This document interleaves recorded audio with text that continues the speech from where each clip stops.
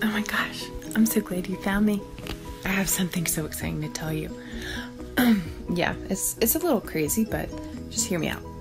I create a group on Facebook called For the Thinkers. Now, this isn't a philosophy group per se.